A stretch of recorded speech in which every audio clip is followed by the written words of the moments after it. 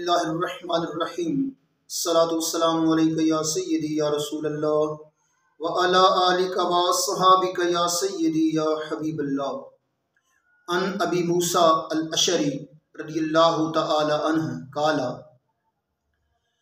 हज़रत अबू मूसा अशरी रदियल्लाहु तआला अन्हु से रिवायत है, फरमाते हैं, जब कभी रसूलुल्लाह सल्लल्लाहु अलैहि व आलिहि वसल्लम के सहाबा कराम को किसी हदीस में कोई मुश्किल पेश आती।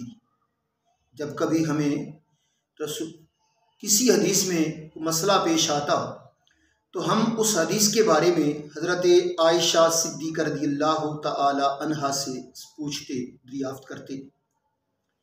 तो उस हदीस के बारे में मुकम्मल इलम हमें हज़रत आयशा सिद्दीक रदी अल्लाह तहा के पास मिलता। हज़रत अबू मूसा अशरी रदी अल्लाह तहो रिवायत करते हैं, कहते हैं कि जब कभी मा अशकल अलैना, जब कभी हमें कोई इश्काल होता, किसी हदीस में मा अशकल अलैना असहाब रसूलुल्लाह सल्लल्लाहु अलैहि वसल्लम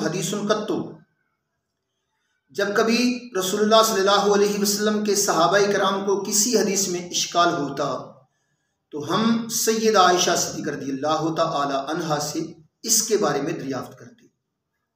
तो वजदना इंदहा मिन इल्मा तो उनके पास उसका इलम पाते।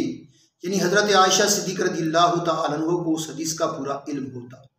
इस हदीस पाक को इमाम तिरमजी ने रिवायत किया है और कहा है, हाजा हदीस हसन सही ये हदीस हसन सही है। और हज़रत अता रदी अल्लाह तु रिवायत करते हैं, कानत आयशत हज़रत आयशा सिद्दीक तहा अफ़कहन्नास, तमाम लोगों से ज़्यादा फ़कीहा थी। आलमन्नास, तमाम लोगों से ज़्यादा जानने वाली थी। वह अहसनन्नास, और तमाम लोगों से ज़्यादा उम्दा रायन फिल आमती, आम मसाइल में उम्दा राय रखने वाली थी। तमाम लोगों से ज़्यादा उमदा राय रखने वाली थी। बरदरान जीवाकार पंद्रह रमज़ान मुबारक को सैदा आयशा सिद्दीक रदी अल्लाह तहा का विसाल है।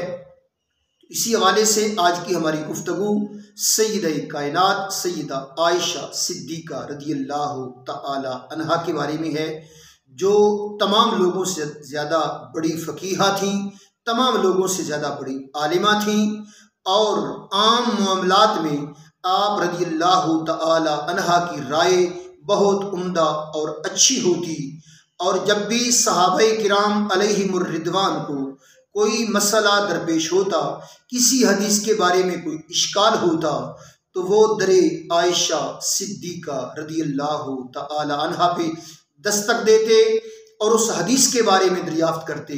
तो हज़रत अबू मूसा अशरी कहते हैं हम जब भी किसी हदीस के बारे में हज़रत आयशा सिद्दीका से दरियाफ्त करते तो उनके पास उस हदीस के बारे में मुकम्मल इलम पाते।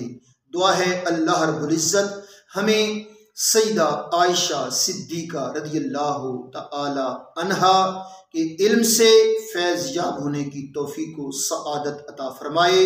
आमीन। बिजाही ख़ातम नबीजीन सल्लल्लाहु अलैहि वसल्लम।